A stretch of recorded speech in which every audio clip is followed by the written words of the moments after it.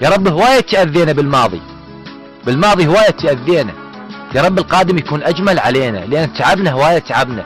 صعبة تحب شخص وتتعلق به وتحس بالدنيا ماكو غيره وبالتالي يعوفك ويروح. أنا بالدنيا ما أشوف. بس أنت مع العلم هواية ناس موجودين بحياتي بس ما قاعد أحس بيهم. إلا أنت حسيت بيك إلا أنت حبيتك إلا أنت حسيت معك بإحساس ما حسيته مع أي شخص غيرك. أنت حسيت وياك بإحساس أنت حبي الأول والأخير. صح قبلك حبيت بس أنت جيت نسيتني ما كان. إذا أنت الأول أنت الأخير أنت المقدم أنت المؤخر. ورغم الإفراق يا ربي نرجع. ويلتم الشمل من